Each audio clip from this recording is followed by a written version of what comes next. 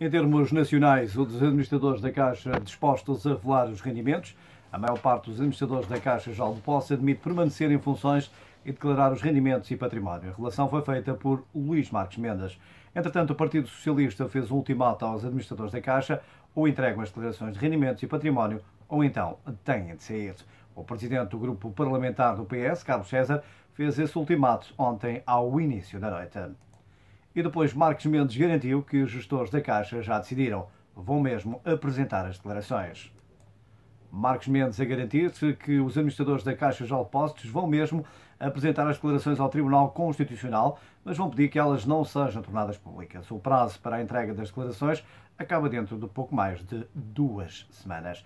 Ainda por cá, a Câmara Municipal de Lisboa assume a gestão da Carris a partir de 1 de janeiro de 2017.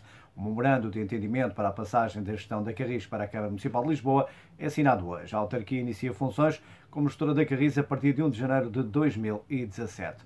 O Governo considera que este acordo vai permitir descentralizar a gestão do Serviço Público de Transporte de Passageiros. A gestão da Carris era uma ambição antiga da autarquia. Surge na sequência da suspensão do processo de subconcessão das empresas públicas de transporte de Lisboa e do Porto, lançada em 2011 pelo governo PSD-CDS-PP. Lá por fora, a Operação Policial invade a favela do Rio de Janeiro, uma favela do Rio de Janeiro no Brasil, foi ontem alvo de uma vasta operação policial. Várias unidades do Comando das Operações Especiais, com um carro blindado, patrulharam as ruas na favela a Cidade de Deus. Ainda assim, a polícia evitou aproximar-se da zona onde os moradores faziam o velório de sete jovens da favela. Tinham desaparecido no sábado à noite. A população diz que foram torturados e mortos pela própria polícia. Ainda lá para fora, sobe para 142 o número de mortos do acidente ferroviário de ontem, domingo, na Índia. As autoridades indianas elevaram esta segunda-feira para 142 o número de mortos na sequência do descarrilamento de um comboio ocorrido ontem, domingo, naquele que foi o pior acidente ferroviário do país desde 2010. Os 14 vagões do expresso Indore-Patna saíram dos carris perto da cidade de Kanpur, no estado indiano de Uttar Pradesh, no norte, cerca das 3 horas da manhã de ontem, domingo, eh, que são 21h30 de sábado em Lisboa, numa altura em que a maior parte dos passageiros dormia. O balanço pode ainda ser maior e será difícil a tarefa de identificar todas as pessoas particularmente aquelas cujos corpos estavam gravemente danificados, disse uma fonte do governo local à agência AFP, sob a condição de anonimato. Não temos um número exato de feridos neste momento, disse o chefe da polícia local, Zaki Amda.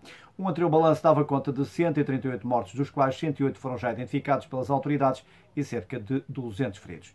Mais de 2 mil pessoas estariam a bordo do comboio, embora muitos viajassem sem lugar reservado ou mesmo sem bilhete, tornando impossível uma estimativa precisa. É difícil dizer quantas pessoas estavam a viajar, mas eram definitivamente mais de 2 mil, afirmou um porta-voz regional da rede, da rede ferroviária. Segundo as investigações preliminares, uma fratura na via pode ter estado na origem do acidente, embora haja relatos de passageiros de que um ruído anómalo. As autoridades indianas anunciaram, entretanto, ter terminado as operações de busca por sobreviventes. Estes procuraram os familiares que estavam no comboio em conjunto com centenas de polícias e militares, foram destacados para a zona onde as unidades de salvamento tentavam desencarcerar os vagões que descarrilaram para retirarem possíveis sobreviventes. Hoje de manhã terminaram as buscas aos 14 vagões e foram encontrados mais corpos, elevando o número de vítimas mortais, indicou a televisão NDTV, que cita o diretor-geral da polícia, Jalete Chaudhary. Este acidente é o mais mortal desde a colisão de dois comboios em Bengala em 2010, que fez 146 mortes e mais de 200 feridos. Segundo o mais recente relatório oficial, em 2014 ocorreram 28.360 acidentes relacionados com a rede ferroviária da Índia, nos quais morreram 25.006 pessoas. A rede ferroviária indiana, com 65 mil km, é a quarta mais extensa do mundo, a seguir à dos Estados Unidos, Rússia e China. Conta com 1,3 milhões de funcionários e 12.500 comboios que transportam diariamente cerca de 23 milhões de passageiros. Estas e outras notícias de âmbito nacional e internacional em permanente atualização aqui na rádio onde dá gosto de ouvir informação.